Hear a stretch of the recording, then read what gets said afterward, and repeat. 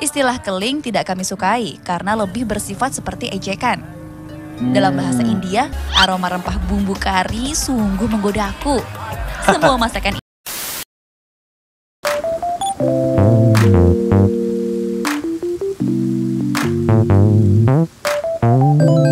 Halo guys, Assalamualaikum warahmatullahi wabarakatuh. Salam sejahtera, welcome back to my YouTube channel guys. Oke guys, pada kali ini kita akan teruskan lagi membuat satu bakalan video reaction. Dan nampaknya guys, ada beberapa satu info dan juga mengenai tentang di Indonesia Yaitu ada kampung India yang berada di Indonesia.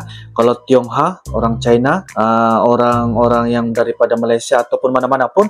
Tapi pada kali ini guys, saya terdengar satu kampung India yang berada di Indonesia. Adakah mereka fasih dalam bahasa Indonesia guys? Saya pun tidak tahu tapi ini akan membuatkan Angka rasa dapat memberikan jawapan kepada Angka guys yaitu dengan judulnya Suasana Negeri India di Kampung India di Medan guys. Ah dan merupakan daripada channel official net news. Jangan lupa guys seperti biasa like, comment, share dan juga subscribe channel official Net News. Jadi guys, apakah cerita mengenai tentang kampung India yang berada di Medan guys? Tanpa membasa-basi guys, ayo kita sama-sama nonton di dalam video pada kali ini guys.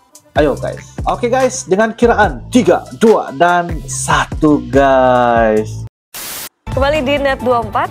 Ya, Net Taufik, 24, kalau misalnya kayak suasana aku nih, negeri India. ke India, ingin merasakan eksotikanya, makanannya, kita bisa datang ke Medan, Sumatera Utara. Walaupun wow. di sana nggak ada Taj Mahal sih, Alicia. Yeah. Oh, di Medan, Sumatera, guys. Ya, tapi di sana ada kampung yang dijuluki Little India. Namanya ya. adalah Kampung Madras. Benar, Kampung Madras ini juga dijuluki Kampung Keling. Tahu hmm. dong kira-kira kenapa? Tahu, karena Madras. sebagian warga yang menetap, uh, kebanyakan warga yang menetap hmm. di sana ini rata-rata berkulit gelap. Ya. Tapi jangan salah, Lis, di sana hmm. ini makanannya enak-enak semua.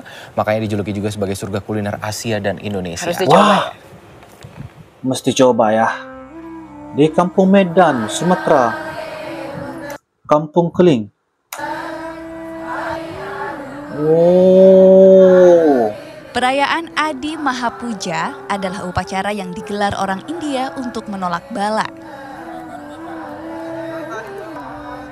Dupa, doa, dan nyanyian persembahan kepada para dewa adalah bagian dari ritual ini. Saya melihatkan guys, uh, di India nih, orang-orang India yang berada di Medan nih, sama seperti cara mereka beribadat, cara mereka uh, orang kata, yalah dari segi bab agama mereka tuh sama dengan di di negara India guys. Ah, kira sama guys ya, tapi bezanya adalah bedanya adalah mereka tinggal di Indonesia di kampung Medan dan yang India tuh pula ah, memang ada di negara India lah macam tuh ya. Tradisi yang diperingati satu tahun sekali pada bulan Adi di penanggalan India. Oh. Biasanya jatuh antara bulan Juli dan Agustus. Hmm. Perayaan Adi Mahapuja merupakan perayaan terbesar umat Hindu India, terutama perayaan terbesar. Perayaan ini bukan di India, tapi ah. di kampungku, Kampung Madras yang lebih dikenal dengan Kampung Keling. Kampung Keling. Terletak di Kecamatan Polonia, Kota Medan, kawasan ini dihuni oleh warga keturunan India sejak tahun 1873. Oh, 1873 lagi guys. moyang kami, bangsa India Tamil, datang ke Medan untuk mengadu nasib sebagai pekerja di perkebunan dan menjadi oh. kuli kontrak. Awalnya hanya 25 orang saja, tapi terus berkembang sampai sekarang. Terus berkembang Kampung guys. Keling menjadi salah satu kebanggaan kota Medan. Little India adalah sebutan lain buat kampungku. Little India di sini masih banyak kuil umat Hindu. Yang terbesar adalah kuil Sri Mariaman. Nama masih Kampung Madras sekarang lebih sering digunakan. Istilah keling tidak kami sukai karena lebih bersifat seperti ejekan. Dalam bahasa hmm. India tak ada istilah keling. Tak ada istilah keling guys ya kalau kita sebut tentang uh, keling sebab dia banyak kepada ejekan lah. Ya tapi lebih dikenali sebagai kampung Medan India guys ataupun Little India. Uh, kayak macam macam tu lah ya. Kami bilang kampung keling ya kami senyum-senyum aja. Tapi kalau apa wah. kami bukannya terus wah guys kejap guys. Betul ya? Kami bilang kampung keling ya kami senyum-senyum aja tapi kalau apa kami bukannya tersinggung bukan tapi kami kurang apa gitu, kurang respon gitu. Mantap. Saat ini keturunan India yang ada di Medan bukanlah mereka yang datang langsung dari India. Kami ah. adalah generasi ketiga atau keempat dari pendatang awal. Bahkan banyak yang sudah tidak bisa berbahasa India. Ada sih yang memang karena di keluarganya itu setiap hari udah ngomong gitu, ada yang cuman bisa ngerti, ada yang juga bisa ngomong. Kami ada juga adalah bisa orang ngerti. Indonesia, walau memiliki keturunan India. Tetap orang kami Indonesia. lahir dan besar di sini, tapi betul. tetap menjaga tradisi nenek moyang kami. Ah, betul. Sebelum guys. mengikuti perayaan Adi Mahapuja, ada beberapa persiapan yang aku lakukan. Sebagai keturunan India, aku tak meninggalkan tradisi perawatan kecantikan ala India. Ah. Perawatan kecantikan yang khas seperti waxing dan trading alis masih biasa aku lakukan. Kali ini, aku akan melakukan trading dan memakai mehandi. Membentuk alis dengan keterampilan khusus menggunakan seutas benang membuat alis menjadi lebih cantik. Oh. Teknik ini bahkan mempertahankan bentuk alis lebih lama dibandingkan dicukur atau dibentuk dengan menggunakan silet. Macam tuh ya, Tapi buat yang belum terbiasa, teknik ini akan terasa sakit. Lalu ada mehandi, melukis tangan dan kaki dengan ornamen khas India. Dulunya, mehandi hanya dipakai oleh para pengantin. Fungsinya sebagai penanda bahwa wanita yang memakainya tidak bisa lagi diganggu. Ah. Tapi sekarang sudah mulai bergeser dari pertimbangan keamanan menjadi pemanis penampilan. Pemanis penampilan Bahkan guys. varian warna tato ala India ini sudah lebih beragam kalau dulu wow. cuma satu warna, sekarang ada beberapa pilihan warna.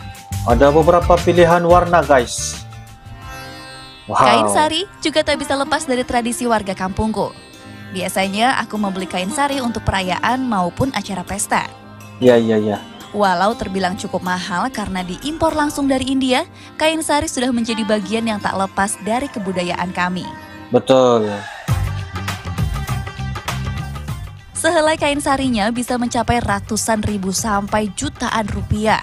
Huh, Terutama kain sari mahal. modern yang dimodifikasi dengan kristal-kristal Swarovski.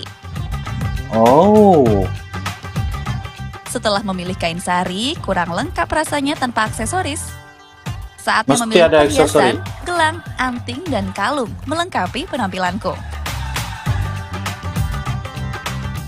Tapi untuk perayaan kali ini aku memilih menggunakan baju Punjabi. Baju ini lebih kasual, sehingga lebih cocok buat anak muda seperti aku. Perayaan seperti ini selain melestarikan tradisi, tapi juga menjaga kesatuan kami. Hmm, Sebenarnya betul. masih bisa bikin uh, anak-anak muda Tamil itu masih bisa sering datang ke kuil itu karena perayaan-perayaan setelah selesai berdoa, ini acara yang ditunggu-tunggu, yaitu acara yang ditunggu-tunggu. Bubur. Oh. Campuran bubur gandum dan bubur beras dengan topping sayuran ini tak boleh ketinggalan. Kami percaya ini membawa keberkahan karena sudah didoakan oleh pendeta yang disertai ritual mengelilingi kuil. Oh, begitu guys bubur ya memaknai sekali. siklus kehidupan, di mana saat kita bayi, sakit, dan tua akan memakan bubur. Oh. Ada juga acara makan bersama sebagai bentuk syukur kepada para dewa. Aroma rempah bumbu kari sungguh menggodaku. Semua masakan ini menggunakan sayuran sebagai bahannya. Seperti makanan vegetarian ya. Hmm, nikmatnya makan beralaskan daun pisang. Ternyata ada alasannya loh daun pisang digunakan sebagai alas. Pohon pisang tumbuh hampir di berbagai belahan dunia dan semua bagiannya bisa dimanfaatkan. Hmm. Maksudnya, agar kita sebagai manusia, kita bisa hidup di mana saja serta bermanfaat untuk siapa saja. Betul, betul. Tradisi dan budaya India memang sangat kental di kampungku ini. Tapi sudah terjadi akulturasi dengan warga etnis lainnya. Ya karena kami juga udah ngebaur sama yang lain, terus kami juga kan sekolahnya ngebaur, nggak ada yang tempat yang sama gitu. Udah belajar untuk deket sama yang lain juga, jadi nggak ada pengalaman-pengalaman yang buruk entah apa karena masalah minoritas nggak ada. Hmm. Kampung Madras tak lagi didominasi oleh etnis Tamil India. Kesulitan ekonomi yang terjadi membuat banyak etnis Tamil yang memilih untuk meninggalkan Kampung Madras. Oh. Kini, kami yang tinggal di sini hidup berdampingan dengan etnis keturunan Tionghoa. Bahkan oh. jumlahnya sudah lebih banyak dari kami. Walau Mereka begitu, tinggal bersama kita Tionghoa. tak dibedakan oleh suku, karena kita semua orang Indonesia. Iya, betul.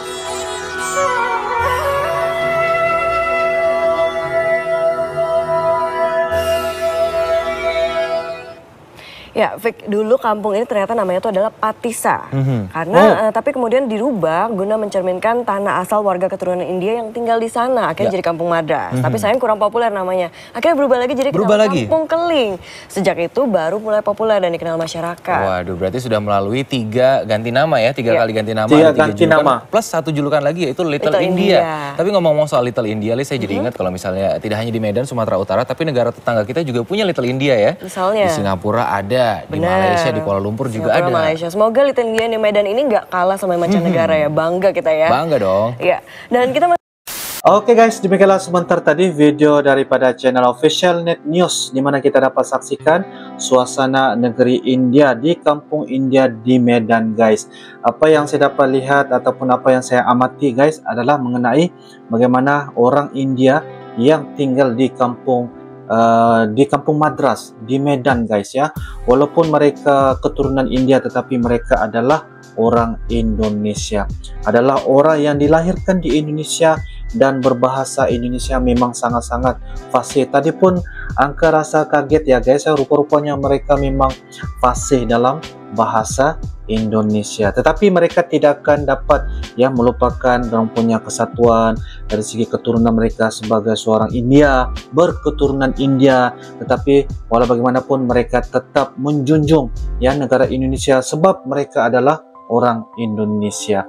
Oke guys, apa yang kita dapat juga saksikan ialah bagaimana ya kampung di di Medan di sana kita dapat melihat budaya mereka dapat menghidupkan lagi suasana tradisi adat keturunan orang India dan itu membuatkan mereka sangat-sangat orang kata memang kita kelihatannya seperti berada di negeri India guys. Ah macam itulah. Tapi walau bagaimanapun mereka tetap berada di kampung yaitu berada di kampung Indonesia jadi itu benda yang sangat-sangat bagi Uncle sangat spesial sangat-sangat bagi yang menarik untuk sama-sama kita melihat bagaimana ya orang-orang India yang tinggal di Indonesia mereka sangat-sangat fasih dalam berbahasa Indonesia. Wow, sangat-sangat menarik dan saya ucapkan inilah kebanggaan orang Indonesia, berbagai kaum, berbagai suku bangsa yang tinggal di Indonesia. Wow. Oke okay guys, apapun itu adalah salah satu perkongsian yang sangat-sangat mantap, sangat-sangat hebat untuk kita jadikan sebagai satu pengetahuan pada uncle terutamanya mungkin kepada Anda ataupun kalian yang tengah menonton guys. Oke okay guys, apapun itu saja daripada uncle kita perkongsian dan juga video yang uncle tampilkan ya kepada Anda semua. Kita akan bisa ketemu lagi guys dan apa pun uncle mohon maaf kalau ada beberapa kata tutur bicara ataupun kata-kata yang boleh menguruskan hati kalian. Hati-hati para penonton yang tengah menonton video Uncle. Oke guys, itu saja daripada Uncle. I love you Malaysia. I love you Indonesia. I thank for watching guys. Assalamualaikum warahmatullahi wabarakatuh. Bye-bye.